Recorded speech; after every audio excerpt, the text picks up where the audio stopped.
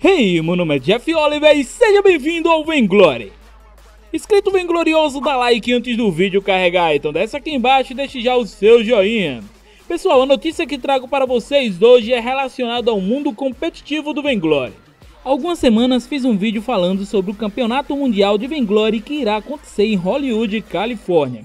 Para quem não viu o vídeo, ele está aparecendo no card nesse momento ou no link aqui embaixo na descrição. No vídeo eu mencionei que teremos uma equipe brasileira que irá participar e representar não só nosso país, mas também todo o nosso servidor lá no Campeonato Mundial de Venglory. O nome dessa equipe é Materazo Gaming.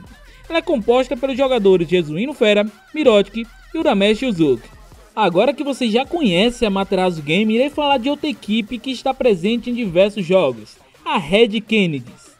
Apenas no primeiro semestre do ano, a Red Kennedys foi campeã brasileira duas vezes. Agora a Red Kennedys quer investir no cenário competitivo do Venglory. Eles viram potencial no nosso jogo e potencial na nossa querida equipe Amaterasu Game. Bom, com isso agora eu posso revelar qual é a grande notícia. A grande notícia é que agora a Materazo Game faz parte da equipe da Red Kennedys. Isso mesmo, agora a Materazo é Red Kennedys Quer conhecer um pouco mais sobre a Red Kennedys e a Materazo Game?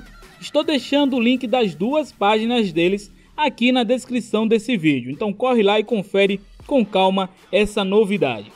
Então é isso pessoal, espero que vocês tenham gostado desse vídeo, a notícia foi rápida, amanhã tem mais vídeo aqui no canal. Nos vemos em House on Fold, tchau!